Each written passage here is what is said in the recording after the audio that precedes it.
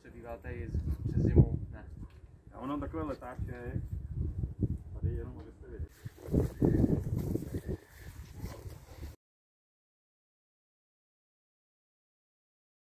Co tady má hodnotného, ta odvoz do domu. To je nejlepší. Protože já, No, tak se dáme čtení, že to měl doma třeba. Jo.